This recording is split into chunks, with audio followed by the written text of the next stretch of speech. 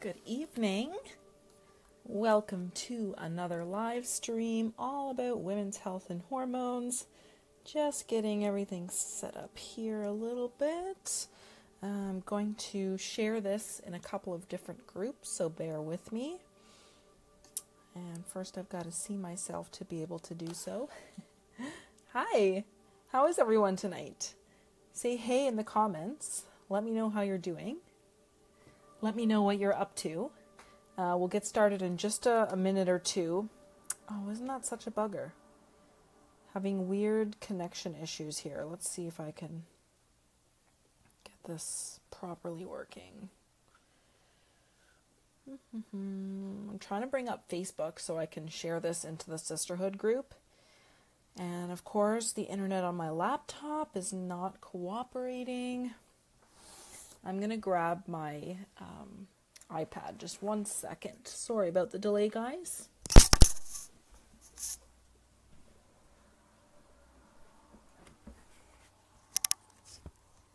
All right.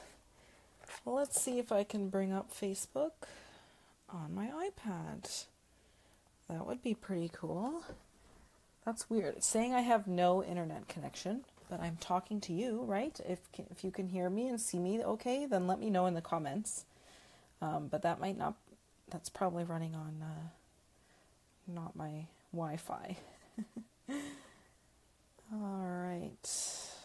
Come on, iPad. Here we go. Perfect. Okay, so I'm going to just share this quickly. Um, good. I'm glad I could get that to work. Here we go. Sisterhood. Perfect.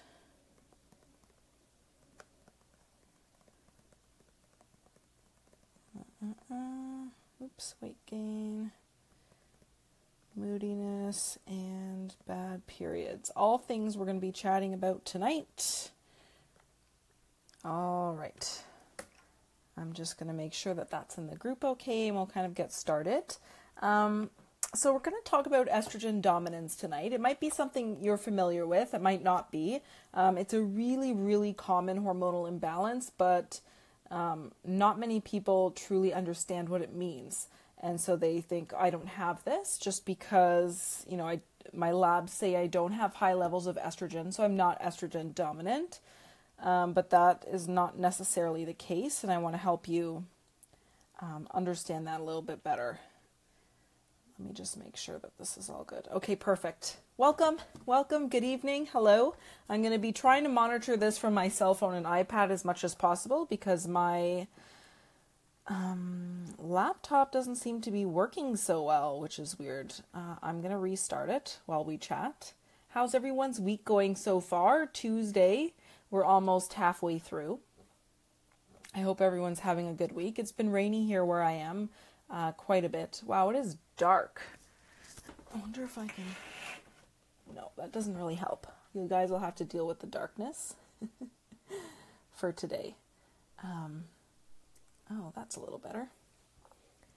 So, estrogen dominance. I'm curious, anyone watching, do you know that you are estrogen dominant? Dominant? Is this a term that you've heard before? Are you familiar with it? What do you think estrogen dominance actually is?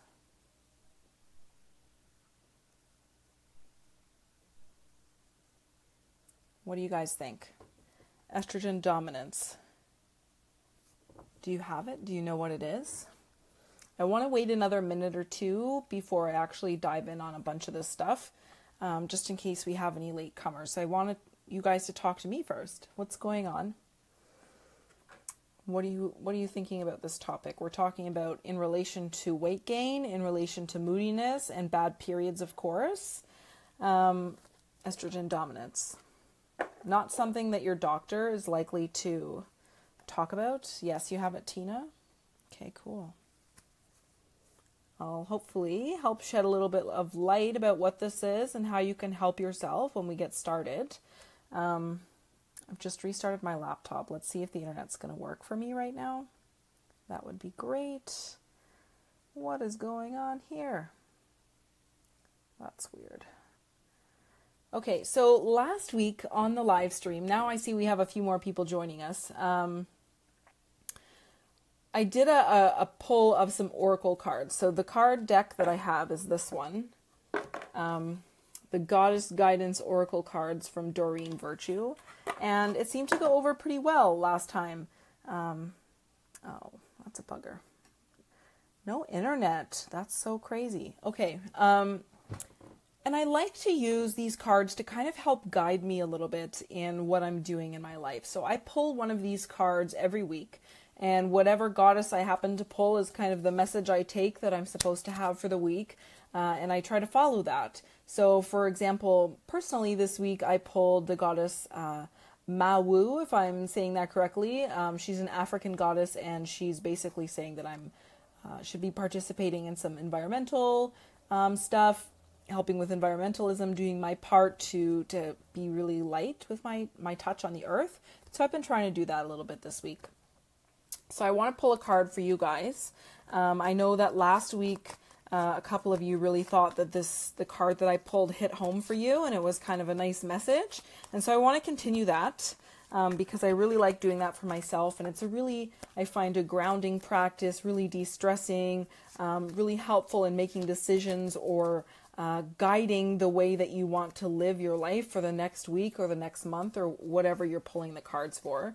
Um, at the end of last year, I pulled a card for every month of this year as well. So I have a monthly card and then I do a weekly. Um, so we'll see what we get tonight and then we'll talk about estrogen dominance. Um, I just want to make sure these are shuffled up good. So let's see, ladies. Uh, what goddess we pull this evening. And I'll read you the little blurb that comes in the little companion book. Uh, all right. Oh, interesting. This is perfect for tonight, I think, but I have to look up how to properly pronounce her name because I'm pretty sure I'm going to butcher it. Let's see. Mm-hmm. Okay, so Ixchel or Ixchel is how it's pronounced. Here's the card. And I know this is probably backwards for you, but there it is. There she is. Medicine woman. Medicine woman. Isn't that interesting? So on the card it says, You are a channel for divine healing power. So we're talking about healing our bodies tonight. So this is really perfect. Um, to read what she, the message that Ixchel has for us. Commanding power is not the same as demanding it. Demanding comes from a childlike place, akin to a tantrum, based upon the fear that it might be withheld. Commanding is based upon the sure and steady knowledge that you are a part of the Great Spirit's grace and wisdom. You're a lightning rod that can conduct the power. Simply connect to the power through unyielding clarity of your thought processes. Don't waver for a moment in your sure and steady decision to be a conduit of the power that already resides within you. Connect to the even bigger source and allow it to amplify your natural power. In this way, you're a steady connector of the infinite, from the infinite to the infinite. In other words, it's all spirit around you, through you, and to whomever you're healing. Hey Heather, how's it going? Nice to have you on the live stream tonight. We're just doing our card um, for the week. Ixchel is what we picked this week, Medicine Woman. So the various meanings of this card you're a healer, you're being healed, this situation and or your loved one is being healed honor your healing knowledge and abilities. Learn about healing, teach the healing arts, and start or continue your healing practice. Interesting, isn't that so interesting that um, that's what I chose tonight for you ladies who are listening, all about being healers. So you're being healed. Ixchel knows. Trust me, these things, they know. Um, these goddesses are here for you whether you believe they're actual people who existed in the past or it's just a card that you're going to pull or whatever you believe. And to start or continue your healing practice. So if you've been looking for a nudge to get going on some things to help yourself feel better, here's your uh, Here's your light bulb moment. Here's your permission. Ixchel. There we go. Interesting. Anyone have any thoughts on that one? Did that ring true for anyone who's watching here tonight? Or does that make you feel comforted to know that you're being healed and that you're being um, guided and supported? And of course, for me, I'm going to help teach those healing arts to you tonight. So, estrogen dominance. Um, still no internet on my laptop. but it looks like I have internet on my iPad. So there's a corresponding blog post that goes along with tonight's talk. Um, you can find it right now um, on the homepage of the Hormone Diva. It's in it's like the second one down, I think, on May second today. Um, and it'll give you extra information that I might not talk about because I know sometimes we get off track with certain things. How's everyone doing? I see you guys are all watching. Talk to me. Um, I'm totally rocking like post yoga class hair tonight. Like, if I tried to even put these bangs all the way forward, it would not be a, um, it would not be pleasant for me. But that's what happens when you fit stuff in where you can to take care of yourself, right? You do the thing and you get all sweaty and then you have to come on camera. And that's real life, and that's how we do it. All right, so you can feel free to check out that blog post, um, but we'll talk about most of the stuff that's going to be here. So, first, I want to say that um, millions and millions and millions of women out there are suffering with hormonal issues and they don't even know it. Um, they might think that what they're experiencing is normal in terms of um, symptoms. Hey, Kate, I'm so glad you made it. Did you get to see the card that I pulled before, the Oracle card? Interesting. Interesting. Oh, you read it. Fantastic, Tina. Fantastic. So if you have any questions about that, about what you read or anything I'm going to talk about, put it in the comments, right? I'll answer you as I go and to anyone watching, not just Tina. So glad you read it though. That's awesome. Um, and we're suffering needlessly, right? So we think everything is normal. You know, this is a part of aging. This is part of being a woman. You go to your doctor. The doctor says your labs are normal.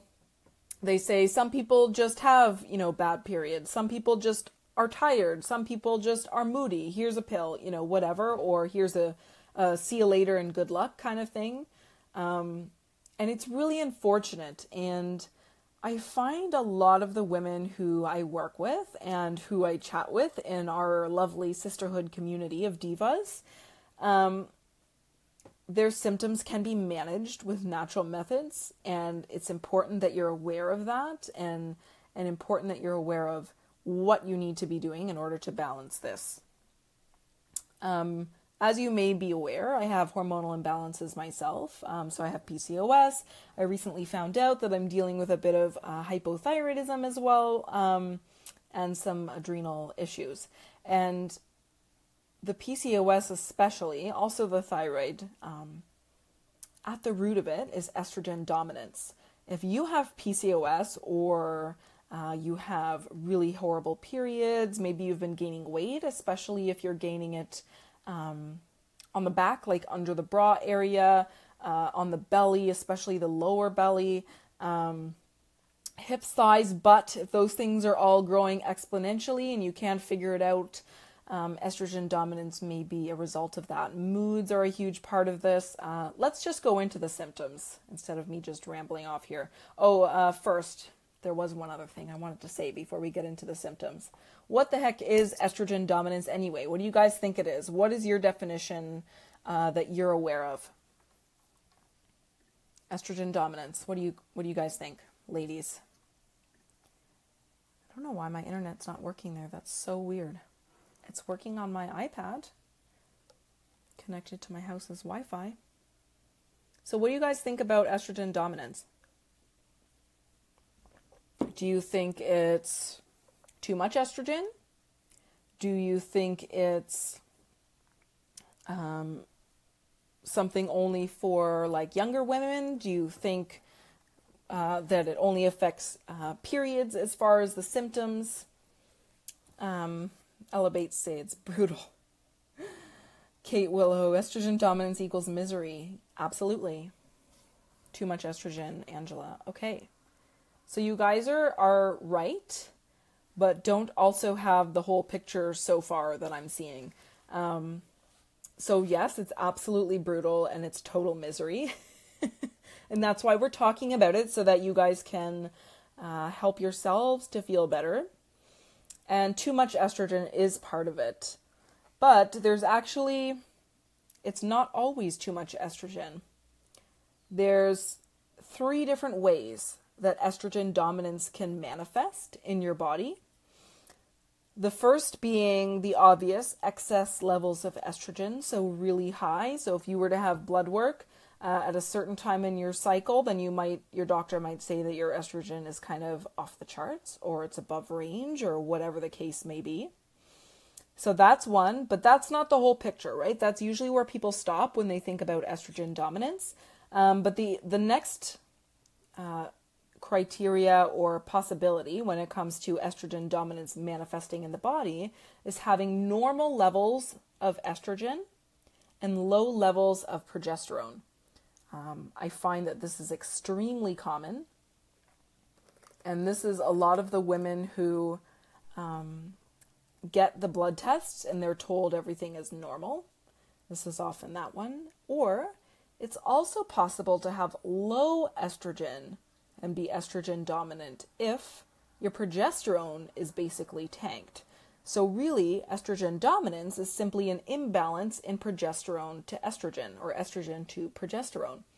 So, you can have normal estrogen and be estrogen dominant. You can have low estrogen and be estrogen dominant. So, if you're perimenopausal or you're going through menopause, you can still be estrogen dominant. Uh, it's all in the ratio, and progesterone when it comes to hormones, that's the first thing that's going to be stolen, if you will. Um, when they're when your body's trying to make hormones, progesterone's going to go down the tubes in favor of other hormones like estrogen, like your stress hormone cortisol. Um, so there's a lot of things going on here, and uh, it doesn't necessarily mean just excess estrogen. Has anyone been told their estrogen is normal? Does anyone know that they have low progesterone? In fact. Still no internet, eh? That's so crazy. Good thing that it's working on my other devices so we can do this tonight. So, does anyone have like legit blood work that said they were good to go? You're low on progesterone, Tina? Yeah. So basically, almost every uh, manifestation of estrogen dominance has to do with low progesterone. Uh, you've been told yours is normal. Yeah, Lizelle too. Heather, yes, but it's not. Absolutely. And interesting, you know, the the lab ranges or values that they use are essentially arbitrary. And so, same thing with hypothyroidism. A lot of women are hypothyroid and don't know it because they fall within the ranges, but that still doesn't mean that there's nothing wrong. Oh, I'm missing some of these. Kate says no blood work, but the gynecologist said estrogen dominance is the reason for fibroids.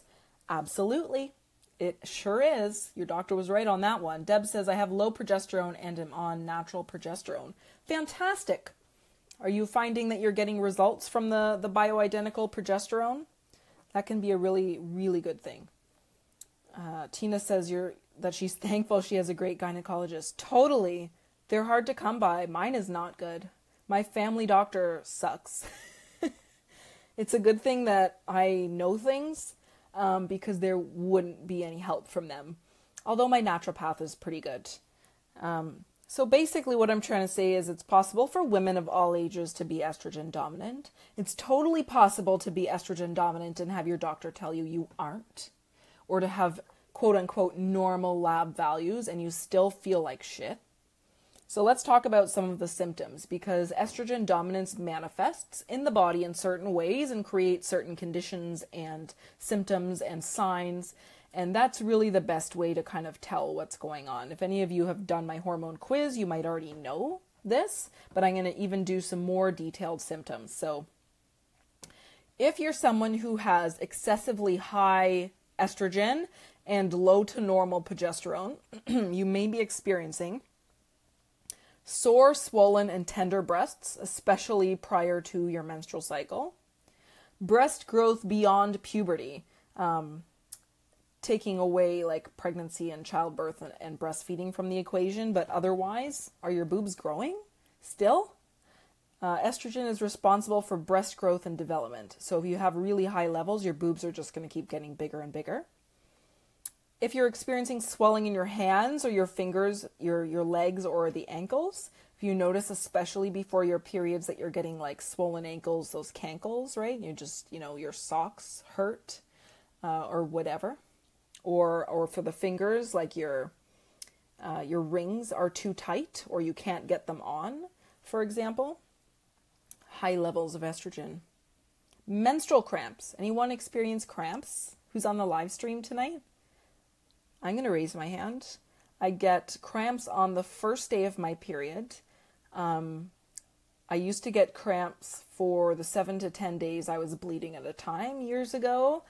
Um, now it's just on the first day and it's quite minor. I don't usually need anything for it, but some tea. Anyone here getting menstrual cramps?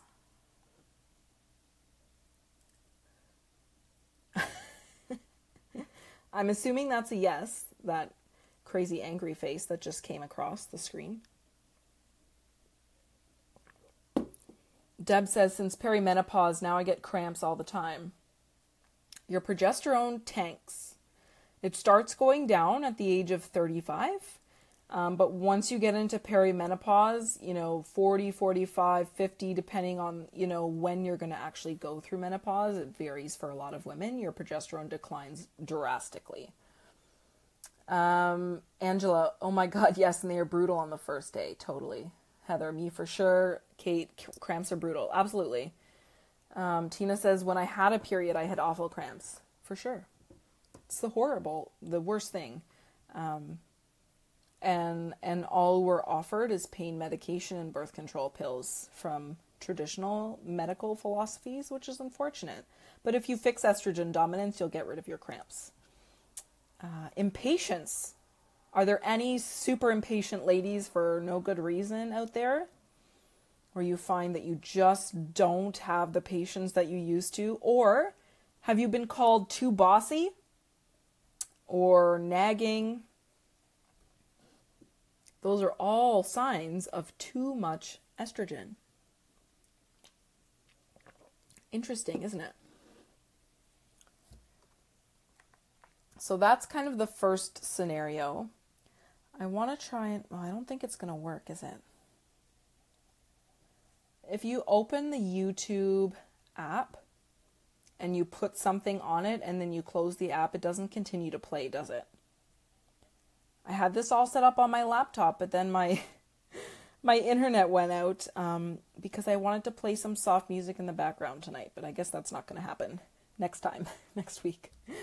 Uh, and so here's the second scenario: normal to high estrogen and low low progesterone, absent periods, amenorrhea as it's called. Um, your periods just don't show up. Irregular periods, so you can't really predict when they're going to come. They do eventually, um, you know, within a month or two or whatever, but they, they're very irregular. If you experience clots in your menstrual flow, any clotters out there, I used to have horrible clots um, when I was a teenager, but I don't get any clotting anymore. Um, my personal period flow, if you, well, hey, we're talking about hormones, so this is not TMI, is um, bright red and perfect. No clots, um, good amount, all of that. That's what you want. Sore, tender breasts again. Does anyone get the boob pain? Tell me you guys get the boob the boob pain. This was something that I actually I'm still working on. It's almost completely gone, but when it was at its worst, I used to have boobs so sore I couldn't even touch them. Even walking down the stairs with a full-on bra would hurt and I would have to like hold them in place going down the stairs, like really horrible sore boobs. Clots were huge for you, Tina. Yeah. Today it's terrible for you, Heather, the boobs. totally. Um, anyone out there with fibrocystic breasts or Uh, I think we had someone say they had fibroids already. Was that you, Kate? And endometriosis? Endofibroids, fibrocystic breasts? All symptoms of estrogen dominance, conditions of estrogen dominance, if you will, especially those PCOS as well, but PCOS also has the the androgens like testosterone and insulin more involved. But endofibroids, um, fibrocystic breasts, ovarian cysts on their own, um, hugely influenced by estrogen, which is what causes these tissues to proliferate. Pr- proliferate. it's been a long day. And then the third scenario, if you have low estrogen and extremely low progesterone, like your progesterone's in the tanker. So these are for my perimenopausal and menopausal ladies mostly, but not always. Memory loss, depression, hot flashes or night sweats. Uh, you're being treated for endo but not diagnosed. Yeah, the only way to actually diagnose um, endometriosis is through surgery, a laparoscopy, because the, the endo tissue does not show itself on ultrasound or other scans. So they actually have to do surgery to um, to diagnose. So sometimes they don't, and they'll just assume that you do based on symptoms. Kylie asks acne near the ears and cheeks. I would say probably not, but maybe if you're having all the other symptoms. Hormonal acne usually manifests here along the jawline, on the neck, your chest, and your back. If you're having acne on other areas of your body, so if it's like more in the center of your cheeks, if you're having acne on the forehead, the nose, um, a bit on the upper lip, that's usually digestive issues uh, and liver sluggishness. But isn't it interesting that the liver, if your liver is not functioning well, is actually a huge cause of estrogen dominance, and we'll talk about that. Um, constipation, possibly that's usually more of a um, a liver or a bowel issue or thyroid. Oh, hearts, hearts, hearts, and thumbs up. Are those all coming right now, or is or is my thing just slow and showing me like a million at once? Um, other symptoms of low estrogen, estrogen dominance, vaginal dryness, low libido, chronic fatigue, insomnia, sagging breasts. Are your boobs starting to sag all of a sudden? And you're like, holy shit, I'm too young for this? uh, quick weight gain, bloating, and absent or irregular periods. And it's interesting that you can go back and forth between these things. So you might notice at certain times in your cycle, like the first half, for example, um, you have more of the symptoms of excessively high estrogen, like the um, impatience, for example, um, uh, the water retention, whatever. And then at a different time in your cycle, you might have symptoms of the low estrogen. So um, the vaginal dryness, low libido type stuff. Constipation, though, Deb, I would definitely think about your diet first. Water is number one. Do you get enough? Number two, do you get enough fiber? Number three, do you get enough fats? And if you check, check, check to all three, then maybe something else is going on. And there's a lot of other general symptoms of estrogen dominance. So things like accelerated aging, hypoglycemia. So if you feel hangry between meals, you get really irritable when you haven't eaten for a few hours or dizzy, whatever. Um, premenopausal bone loss. So it's uh, typical, although not normal, to to lose bone mineral density after menopause. But if you're having that before, thyroid dysfunction, excess estrogen or estrogen dominance, interferes with thyroid hormone.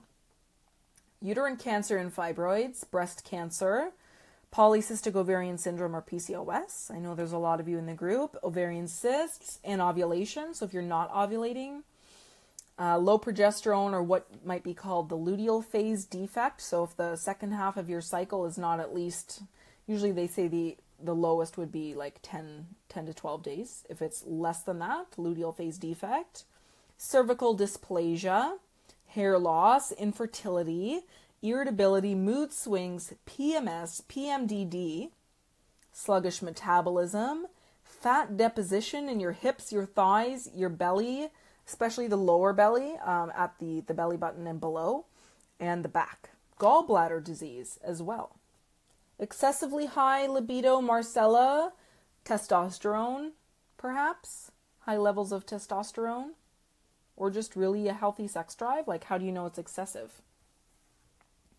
It's normal to have a healthy libido and, and feel that on a daily basis. I wouldn't call that excessive.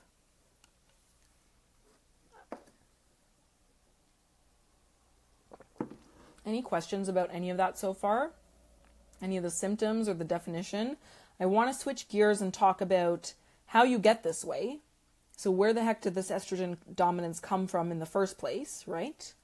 Because, yeah, now you know what it is, and you know, okay, maybe I have a ton of the symptoms. Uh, Kylie wants to know what foods to avoid. We'll talk about that um, near the end of this live stream. Your significant other has complained. I've never heard that before. Significant other complaining of too high libido. That's crazy. If you're okay with it and you can like take care of yourself if your if your significant other's not into it, then that's awesome. I wouldn't worry about it. Unless it becomes bothersome, right? Then see your doctor, but testosterone is a possibility. Oh, he's 13 years younger and he can't keep up? I'm I'm sorry, that's a horrible thing to say. Uh, how does it affect ovulation? Horrible pain around ovulation. A lot of women have pain or sensation around ovulation. It's called Mittelschmerz. Um, having a little bit of sensation or mild discomfort is not abnormal. Usually, this is the sign that the egg is bursting through the follicle because the egg is kept in a little sac until it matures. And then, the ovulation, the sac bursts open, the egg comes out, goes down the fallopian tube um, and so some women can actually feel that. Um, if you have horrible pain around ovulation, then you might be developing cysts. Um, so, for example, uh, if you have these follicles with the eggs in them and they mature, but your hormones aren't able to uh, just get you over the edge, to burst that follicle open and have the egg released, it will form a cyst and it will stay in your ovary. And once this happens several times, and you can get what they call like a string of pearls along your ovaries, the lots of cysts. Um, women with PCOS often have this on ultrasound. I didn't, um, but it's one of the diagnostic, one of the three major diagnostic criteria. Um, and how does it specifically affect ovulation? So, estrogen is highest in the first half of your cycle. It's necessary to get your womb ready in case uh, the egg becomes fertilized. It's necessary to mature that follicle with the egg in it so that it can reach ovulation. And if you have excessively high or too low estrogen, this will not happen. So the egg, fo- the follicles just won't mature, or they will and they'll form cysts, various things like that. And if you do not ovulate, you do not have a real period. Period. um, it's just a breakthrough bleed. If you don't know for sure that you're ovulating and you're having a bleed, like if you're on birth control, for example, that's not a real period, FYI. Does that answer your question? Um, so let's talk about how did we get estrogen dominance. Number one, toxicity. We live in a very toxic world. Women who take birth control and hormone replacement therapy pee and it gets flushed into our water systems and the hormones, sorry, but our, our, our filter systems that our governments have do not filter out those hormones. So if you do not have filtered clean water, you will probably be getting some hormones from there. Other dietary sources of the toxins include um, produce that has a lot of pesticides on it. So check out the uh, the Clean 15 and uh, the Dirty Dozen so that you know where to spend your organic produce dollars. If you're eating commercially raised meats, so if you're buying beef, which if you buy grass fed is fantastic and healthy, and I actually made myself a grass fed ground beef hash for breakfast this week, and it was amazing. But if you're having commercially raised meats, then you will be having loads of toxins coming into your body, especially the red meats, but also in poultry and things like that. Um, processed foods, of course, because they have loads and loads of um, chemicals that are added that disrupt with your hormones if there was any plant matter in there at all, it's usually GMO, like soy, wheat, corn, things like that. So those, those are the dietary sources of toxicity. Where else can we get toxicity from? Where do the toxins come from? What do you guys think? I, I want you guys to, to share your knowledge because I'm willing to bet, especially because I picked that Ixchel card at the beginning of this, that you guys have some innate healing knowledge. And I want to hear what you say. Personal care items, fantastic, Deb. Absolutely. Anything you use on your body. This includes your makeup, deodorant, shampoo, conditioner, hairspray, um, body lotions, body scrubs, um, uh, uh, shaving foam, all of that stuff. Makeup, absolutely. Marcella, yes. Kylie, everybody says beauty products, absolutely. So, do you buy natural beauty products? Are you helping reduce your toxic load by buying natural beauty products? You can hit up the Environmental Working Group website. Um, toothpaste, Chris, amazing. That's a perfect one. Toothpaste, absolutely. Um, so EWG.org, the Environmental Working Group, they actually have a database where you can search by brand and product to see how shitty your product is or how good it is. Um, perfect. You guys are getting the good stuff. Marcella says I don't wear makeup. Even better.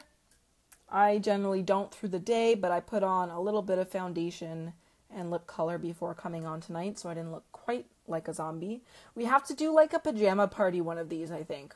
Would you guys like that? Not that it matters, you're not on camera, but I would love that.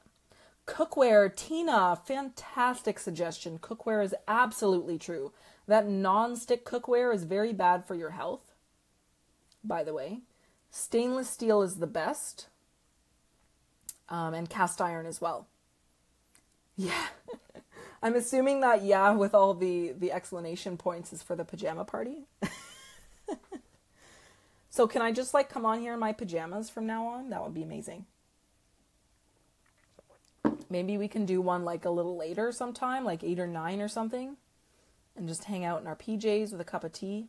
Room deodorizers. Yes, Deb, absolutely. So anything that you're putting in your environment, right? So not just on your body, but in your environment. now everyone wants to do a pajama party. That's awesome. Uh, I will do it. Wine, if you want, Pff, of course. Red wine, red wine for the antioxidants.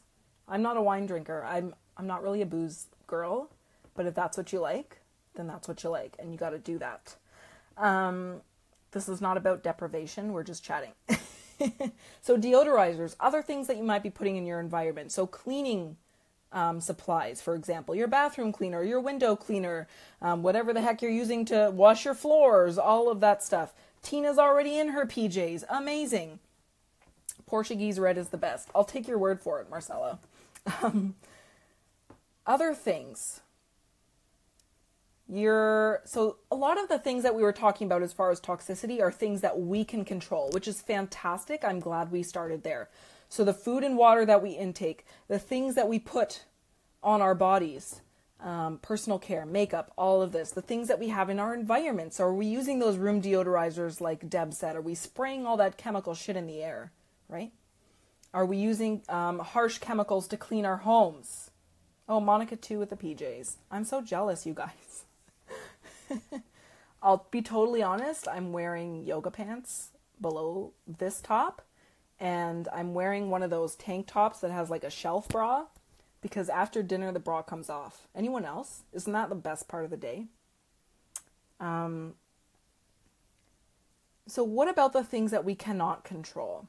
Because they're worth mentioning as well, so that you can get an idea of why it's important to control what we can in order to help our estrogen. Um, pollution, right?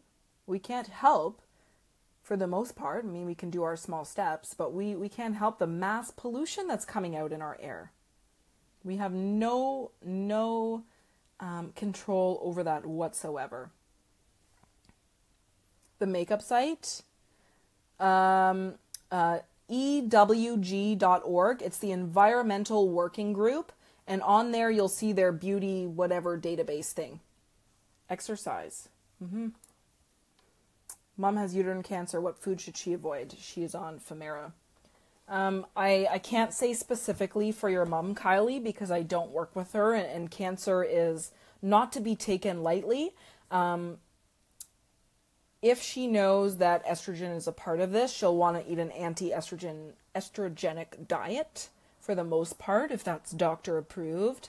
Um, and we'll talk about that. I promise. We'll get to it. Um, oh, one other thing we can control I didn't mention is plastics. Who's using a lot of plastics? We all do, right? Plastic bags, plastic water bottles, blah, blah, blah, right? They contain chemicals that interrupt our hormones. They're called endocrine disruptors.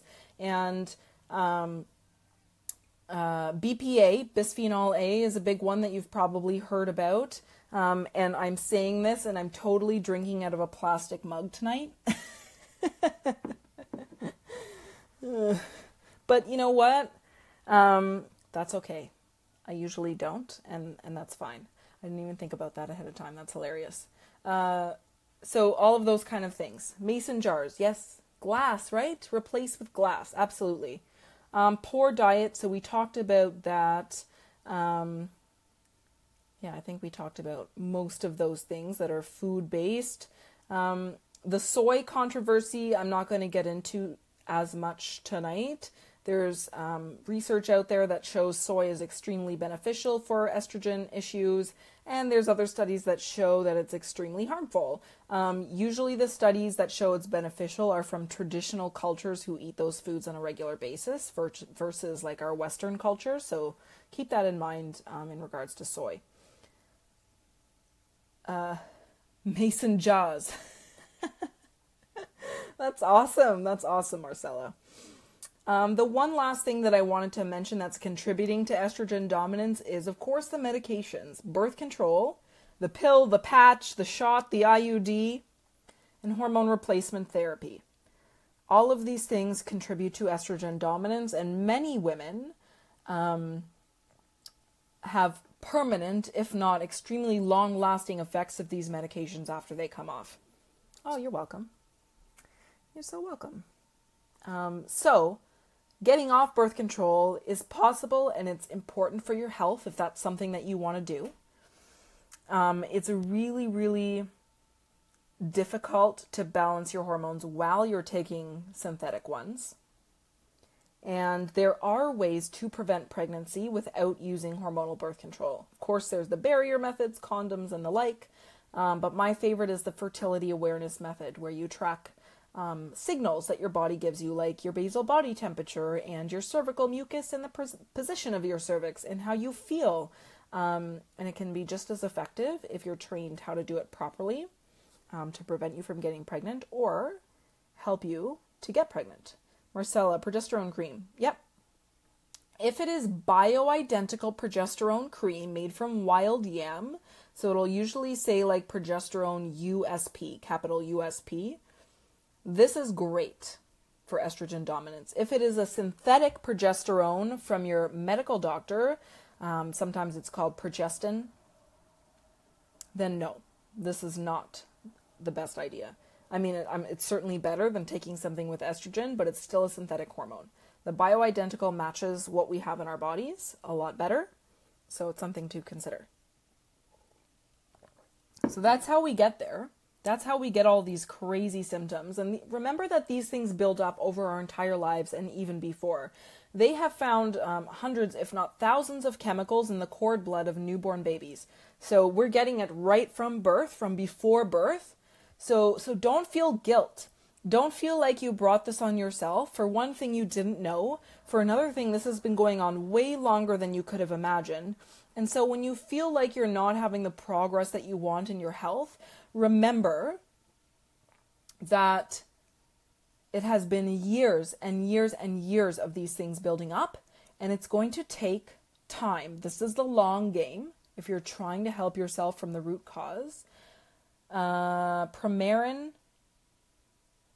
is that a progesterone? I thought that was an estrogen. I'm going to look it up. Oops. Oh, I can't. no, no internet. I forgot. It's still not working. Well, that's annoying. Um, so let's talk about what we can do about this. What do you guys think? What can you do about estrogen dominance? Based on the causes that we talked about, right? the the medications, the the the diet toxins, the you know all of the above, right? The environment. List me off some things right now that you can do to help yourself with estrogen dominance.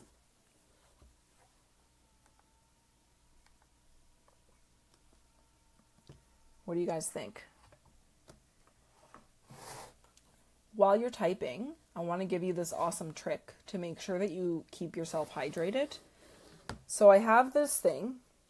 It's called a carafe and I right now I have hot water with lemon and lime in it.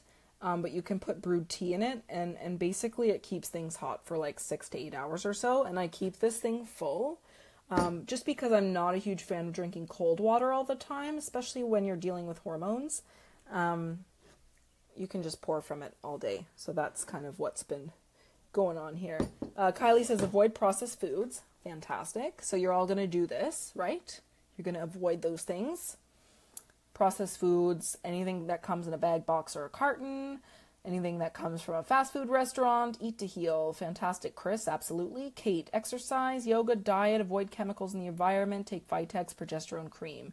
Chris, meditation, amazing. These are all great suggestions. Are you guys doing them? Try to get eight hours of sleep. Sleep is so important. For weight gain, especially, if you are gaining weight and part of it is estrogen dominance or whatever the cause is, of your sleep or of your weight gain, excuse me, if you are not sleeping well, you're fucked. Essentially, your body needs that time in order to lose weight healthfully.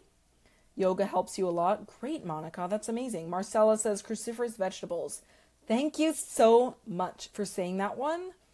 I have a whole blog post on how to eat more cruciferous vegetables on my website um, because it's so important. And why? Because they help your liver to detoxify, because they help to remove excess and harmful estrogens from your body, right?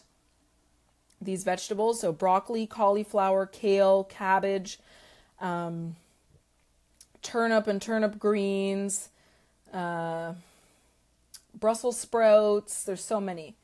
Um, can I talk about Vitex? Yep. I can't sleep. I think my adrenals are shot and this is, is this related? Absolutely. Are you stressing? Long-term chronic stress? Sedentary lifestyle, poor diet, any of these factors for you, Deb? These will affect your adrenals, and if your adrenals are not functioning, guess what's going to happen? Your body is going to steal the building blocks it uses to make progesterone, which keeps estrogen in check, in order to make your stress hormones cortisol and others. Um, so you're going to end up estrogen dominant with low progesterone. So, yes, it's absolutely related. Vitex, Heather, to answer your question, Monica says ma- magnesium will help you. Magnesium, uh, minerals so important. Yes, magnesium. Absolutely. Blood sugar balance, hormone balance, mood balance, good sleep. Uh, relaxes the muscles, relaxes the nervous system. Vitex. Sorry, Heather. Let's let's talk about this. I actually have a whole blog post on the website as well about this, and I think we've done a live stream, so I'll just talk about it briefly. Vitex does not directly increase progesterone, as some people think. Rather, it works on the brain in order to help signaling so that your body can signal your ovaries to produce more progesterone. Um, it doesn't work for everyone. I find with women who have PCOS uh, or estrogen dominance, it either works really well, and you have to take it for about three full menstrual cycles to tell. If it doesn't work at all by then, it's not for you. Um, it can raise certain hormones like LH, luteinizing hormone. And if this hormone is chronically high, as it is already in many women with PCOS uh, specifically, it can prevent ovulation and do the opposite of what you're trying to do with it. Um, so, Vitex should be taken very carefully. You can certainly try it, but if it doesn't work after a few months, it's not for you. If you're on any kind of hormonal birth control or hormone replacement therapy, Vitex is not for you. It will interfere. What is the best magnesium? Um, glycinate is a fantastic one. If you have also a lot of muscle uh, discomfort or soreness, like if you have fibromyalgia, for example, things like that, you might want to try magnesium malate. If you also have heart problems like cholesterol, heart disease, you might want to try magnesium taurate. But magnesium glycinate for everyday general use is fantastic. You can buy the citrate form but it gives a lot of people loose stools if you take too much. and you might need a lot of magnesium, but might not be able to get as much as you need because you're pooping all the time because you're taking the wrong form. Um, so there we go. Uh, so those are all great suggestions. Um, the biggest thing that I wanted to make a point about as far as helping with your estrogen dominance, beyond helping the environmental things, getting rid of those environmental toxins, um, cleaning up as far as getting good quality food and getting good quality water, is helping your liver to detoxify these excess estrogens. If your liver is not able to do this properly, estrogens that are meant to go out of the body are going to be recirculated. I see your question, Kylie. Just one sec. Estrogens will end up being recirculated, and often they've been converted into more harmful forms of estrogen um, that are likely to cause the things that we're experiencing, like the weight gain, like the moodiness, the anxiety, the depression, hostility, the bossiness, the impatience, right? And the bad periods, of course. Um, so, really, really, really important if you want to have good results, lasting results with balancing your hormones and getting rid of estrogen dominance and all the associated symptoms is to help your liver. So, there's many good liver foods like the cruciferous veggies that we were talking about, um, like lemon that I have in my hot water right now. Um, anything that's going to help you cleanse. Asparagus, beets are fantastic for the liver. Lots of different things like that. Do you guys know any other liver foods? Um, Tina takes milk thistle. Fantastic. I'm going to talk about herbs right now. Herbs are the best. If you watch any of my live streams before, I probably talk about them every single time because I love medicinal herbs and what they can do for women's health specifically. Milk thistle is a fantastic one for the liver because it gently supports the liver, so it's a, a liver tonic, if you will, um, and helps your, your liver to better regenerate and rebuild. Cilantro, yes, and cilantro is also really good for getting rid of heavy metals uh, as well, and good for the kidneys too. There are other herbs beyond milk thistle that will do a little bit of a deeper clean out of your liver, a little bit more to help you properly metabolize estrogen and excrete the stuff that you don't need anymore. Um, because that recirculated estrogen can be often is deposited in fat cell fat cells. And then over time these fat cells begin to produce their own estrogen. So they become like an endocrine organ all of themselves um, castor oil packs on the liver. Absolutely, Chris. This is something I recommend quite often. Turmeric. Fantastic. Bam. Turmeric right there. I take it every day in this tincture for inflammation, liver, gut health, mood, all those things. Other herbs that I want to share with you. Oop, There they are. It's kind of hard to see with the lid on. This is my detox tea but it's a, a, formula that I made to help women detox their livers who have estrogen dominance. And so, other herbs that you might look for that I include in the tea that might be good in other formulas you find dandelion root, burdock root, um, yellow dock. Uh, we mentioned milk thistle. Uh, I put Vitex in there as well, um, and cinnamon for balancing blood sugar and raising progesterone. So, this formula is specific to you ladies who are watching tonight, by the way. It's a delicious chai like tea, as you can see. You can get it on the hormonediva.com um, or read all about it, or just get a formula that's similar to that and take it for a few months. You cook with it a lot. Fantastic, Tina. Amazing. So, herbs, diet, natural products. How many of you are getting these estrogen balancing foods every day? Cruciferous veggies, all of that. How does it taste? It's like a chai tea Tina, because it's got cinnamon and ginger in there, um, and dandelion root and those other roots uh, have a really robust flavor that's similar to a chai or like an herbal coffee if you've ever had that. It's really good. I formulate them myself so they taste good because I want to um I want to like it so that I'll actually use it. So that's that's that. Um, terrible veggie eater, Marcella. I know it can be tough when you when you don't know how to make them taste good, for example. Um, but there's so many ways, right? There's so many ways to get more veggies. Um, I have a whole blog post on how to eat more veggies on the thehormonediva.com. Go on the search bar and, and search it out. Uh, try every day, but your weight is still growing. How much do you need a day? Of what, Tina? The veggies, the tea, the herbs? What do you be specific? Um, the weight can still be growing if you're imbalanced in what you're doing. So you can eat all the veggies in the world, but if you're still not getting enough protein and you're not getting enough fats and you're getting too many carbs of the not right type, then your weight will grow. Um, there's a delicate balance to this, and especially when it comes to fat loss with estrogen dominance, I'm actually working on a 28 day meal plan just for this purpose to help you guys out. Oh, for the tea, um, two to four cups four cups max. I mean, the more you drink, the faster you'll probably see results. But two to four cups, you can make it ahead of time. Um, so I provide instructions on how to make one cup, or you can make a quart and keep it in your fridge, so you can just reheat it as necessary, whatever is easier for you. Um, it's one of my favorites. It's the most popular tea on the site. I have seven of them. Uh, a close second to the stress tea and PCOS tea, interestingly enough. So, what are you guys feeling tonight? Any other questions about this? We're going to talk more about the weight specifically. Um, yeah, I'm excited about the meal plan too, Tina. So it's going to be a 28 day fat loss meal plan for moody women with estrogen dominance. Is that you? Is that you guys? I'm creating this just for you because I want you to know how to eat the foods, how to combine the foods in the right way that's going to help you feel better, right? Um, do I have a diet plan? It's coming, Monica. That's what's coming. Um, I believe the release date is going to be the 16th of May.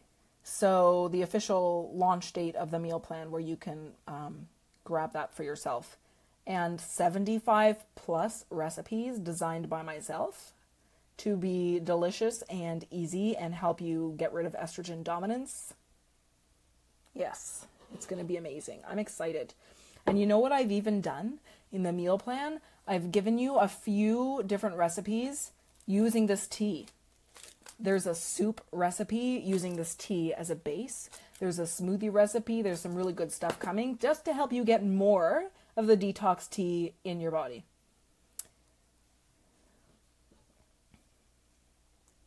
Yeah, moody because of estrogen. Totally, right? We've all been there. Absolutely. So let's get that balanced out. Um, I feel like that was the biggest thing for me personally. When I started to change my diet after I learned I had PCOS, and when my mood started to change quite quickly within the first two weeks, that is what kept me going. That mood change, I was like, holy shit, I can be a normal, wonderful person. and uh, I don't need to be this moody, crazy bitch all the time, right? Because that's so embarrassing, isn't it? When you can't control those things. Totally. I hope I'm not missing any comments because I'm I'm not doing this from my normal setup. For some reason, my laptop still has no internet, but I have internet on my iPad and my phone. Yeah, totally, Monica, right? Um, so the meal plan's coming. Grocery lists, um, recipes, uh, foods to include, foods to avoid, how to meal plan, how to use the meal plan, more info about detoxing estrogen. Um, it's, uh, okay. Um, Kylie, anything you can recommend for hormonal acne? Watch my hormonal acne live stream and search for it on the um, on thehormonediva.com. Oh my gosh, there's so many comments. it's awesome, you guys. I love it. I just have to scroll back up. Uh, so, hormonal acne, I want to make sure I don't miss anyone. Clean up your diet. Usually, gut imbalances are a big part of this, so detoxing your liver is extremely important. Some of the herbs in that detox tea, um, for example, burdock root and yellow dock, when combined, are fantastic for skin issues, specifically hormonal acne. Um, probiotics, fermented foods, things that I'm going to be including in that meal plan coming out soon, helpful for hormonal acne. Oh, I feel a sneeze. Is it going to come? Don't you hate that when it doesn't it doesn't come? uh, does that answer your question? A few things to get started: clean up the diet, get out the dairy, get out uh, the gluten, get out the sugar. Right. Um, as far as internal remedies, uh, is paleo good, Deb? It can be absolutely, but it's important to pay attention to this because women need carbs low carb is not the answer to all weight problems. It's not the answer to all hormonal problems, no matter what some people may may be putting out there. In my clinical experience, we need the carbs. It stresses out our adrenals and thyroid too much when we go too low carb for too long, and that can happen with paleo. So be careful of that.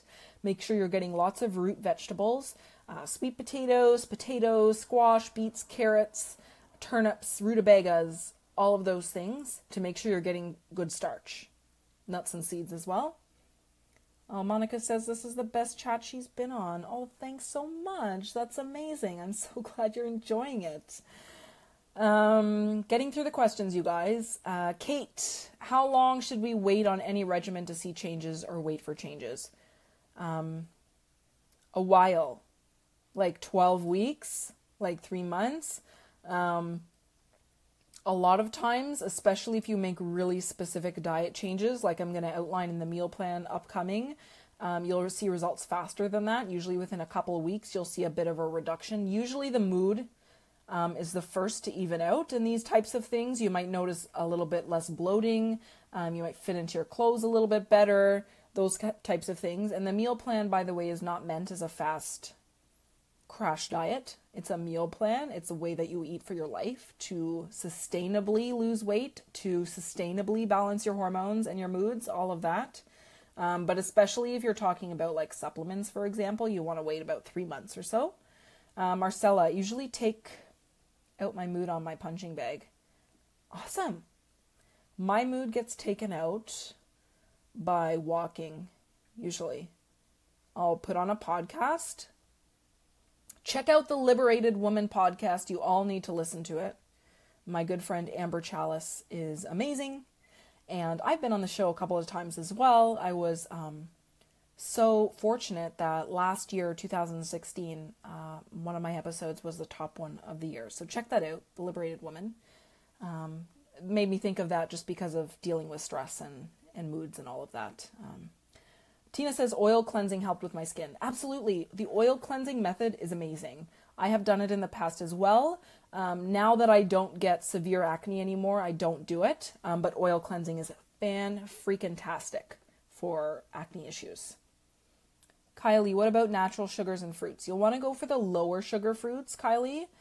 Um, oh, Lizelle, she says when you want to sneeze and it doesn't come, look into a bright light. Noted and thank you. So, natural sugars and fruits. Interesting question. Go for the low sugar fruits. Berries of all types, cherries, um, pomegranate, cranberries, green tipped bananas. Do I have one here? So, like this. Ta da! Green tip. Oop. Green tip. This is going down my gullet after this is over. Um, Green tipped. If it's got like the brown spots or it's all yellow, it's way too sugary. Green apples are great. Um, if you're going to eat other fruits, and it's totally fine, by the way, because variety is the spice of life, is it not? Just be mindful of portions. And when you're first beginning your healing, you may want to reduce or eliminate those things completely for about four weeks. Uh, you're welcome. Pumpkin, yes, absolutely, Marcella. Pumpkin is one of my favorites favorites. There's a recipe on my website for this delicious grain free pumpkin porridge. Um, I believe the blog post is called The Perfect Breakfast for Balancing Hormones, something like that. Check it out, it's amazing. Uh, Tina says, I tried low carb and gained eight pounds. Exactly, right? A lot of women will find that either they gain weight or they lose weight, um, but they can't sustain it and they end up feeling more fatigued or, or whatever than before. Or nothing happens at all. Um, so interesting. Marcella, I can't be go below 30 to 40 grams of carbs per day. I would not recommend it. Absolutely not. Um, you got to find your carb sweet spot, and for some people they can handle more, and some do better with slightly less. but generally I don't recommend for prolonged periods going below 60 grams of carbs. Um, Deb, I can handle all the symptoms except the migraines. Migraines, move your liver, drink some water, get some fresh air and sweat, and that will help you a lot. Um, Deb, berries, yes, Marcella. Oranges, Tina, no, those are quite high sugar, actually. Other citrus, like lemon and lime, is fantastic, but oranges are quite high in sugar, so just be mindful of portions. Um, where can I find out about oil cleansing? Google it. There's loads of good articles out there, Kylie. Just Google oil cleansing method for acne and you'll find fantastic links. There's really good bloggers that have really um, detailed explanations about how to do it, how to choose the oils you're going to use, all of that. Um, I think that's it so far. Did I get through everyone? Any other questions, guys? We've been on for like over an hour. Have I missed anybody? What's going on? Oh, here we go. Oh, whoops. I pressed play on my own live stream. I was about to start listening to myself. Uh, in regards to the water intake and you don't have a filter, what else can you do to get rid of the hormones? Boil it. When you boil water, it concentrates anything that's in it. So if you're someone who boils water in a kettle for tea and doesn't use it all and then reboils it later, that's a no no. Um, if there's shit in your water, it's just going to concentrate it. Um, get a filter, get a pitcher. Brita won't cut it. Um, I think the Santevia are pretty good. If you have any local springs, or you can purchase spring water, alkaline water, reverse osmosis water. Um, there's lots of places usually around that, that carry those things. I'm lucky enough to live by a spring, and I have um, plenty of places around me that sell alkaline and reverse osmosis water. Marcella, weight training and cardio workouts. Nix the cardio. If you're trying to do weight loss and change your body composition and your hormones and all that, besides just like regular walking, nix the cardio and just do the weight training. Uh, have I heard of Femara? Letrozole. Is that is that an estrogen, Kylie? Oh, about the effectiveness? No, I don't think I've ever had a client that's taken it. Is it an estrogen? Am I right on that? Or progesterone? I'm not that familiar. Oh, getting the last of my water out. Almost gone.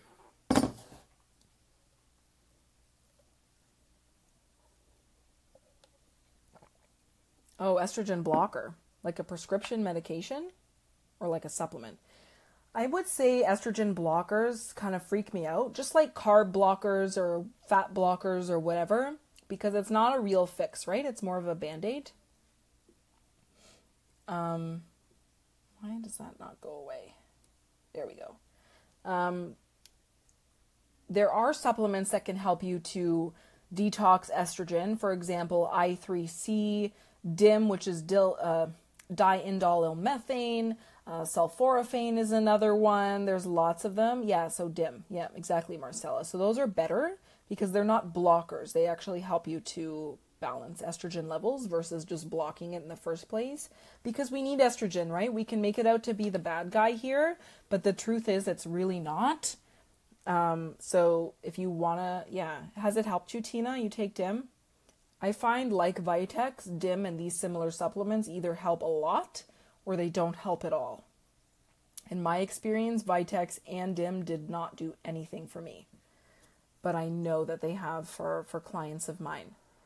Um, so it's just kind of stuff that you have to try for yourself, right? How do I? Oh. So it's just kind of stuff that you have Can to you hear me yourself, from? That's weird. So the only way I can see the comments on this is to listen to myself. That's weird.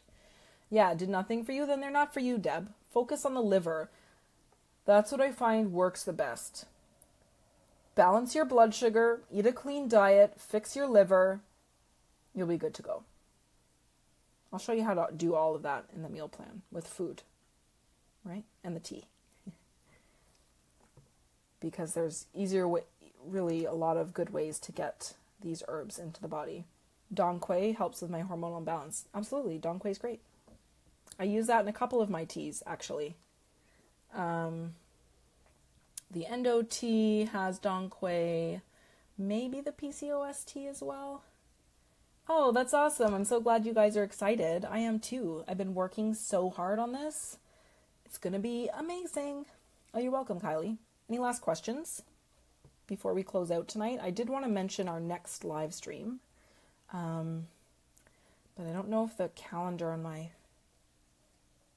my iPad is synced. I think it's next Thursday. Um, you're getting the tea. Get the detox tea. Here it is. Whoop. You're trying to help estrogen dominance. Get the detox tea, for sure. Um, and in the meal plan, if you choose to use it, I'll show you how to use it, the tea, in more ways than just drinking it. Um, so next week, on Thursday, May 11th. Normally we do these on Tuesdays, but next Tuesday, the 9th, is my birthday. Um, and I don't do shit all work on my birthday. So uh, I'm going for a massage. I'm going out to breakfast. Uh, I think I'm going to do a little shopping at a local like metaphysical store, get a few crystals and different things for myself. Um, so we're doing, anyway, so we're doing the live stream on Thursday, the 11th. We're going to talk more about the weight stuff and the estrogen dominant stuff. And we're going to be talking about why the cardio and boot camps you're doing are making you fat. Well, thanks, Tina. Happy early birthday to me. I'm excited. That's the benefit of working for yourself. Yeah, Taurus season. Are you a Taurus too? Any more Tauruses on this call? Any more stubborn bulls on this call? Oh, thanks, Chris. That's so nice.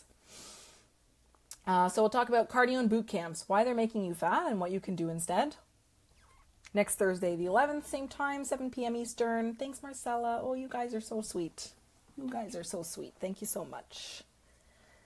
Amazing. Yeah, lots of Tauruses. Amazing. Scorpio. My grandmother was a Scorpio. Uh, her birthday was November 5th. Awesome. Yeah, Taurus season. Interesting. And the day after my birthday is a full moon. I'm going to um, a full moon meditation on the 10th, which is going to be super fun. Oh, you're so welcome, Monica. You're so welcome. Um, if there's nothing else, I'll wait one more minute because I know there's sometimes a lag. But if there's nothing else, then I'll see you guys next Thursday. I'm always in the group, so please feel free. Oh, October 31st. That's amazing. Halloween baby. Very cool. Um, so we'll see you next week. Questions, comments? Yeah, HIIT and strength training. We'll talk about it next week, Tina. Um, it's time to go relax. It's the evening, for me anyway. It's after 8. If it is for you, get off those screens. Get yourself a good night's sleep so that you can release excess weight, right? Absolutely. 7 p.m. Eastern, Monica. Same time we started tonight on the 11th. I'm going to have lots of reminders in the group and stuff like that. So don't even worry. Okay, I'll see you guys next week. Have a great rest of the week. Have a good weekend. Get outside, get some fresh air. Be happy. I'll see you guys then. Oh, and don't forget about Ixchel. You are being healed. You are a healer, right? After eight here, yeah. Okay. Bye, guys. Good night.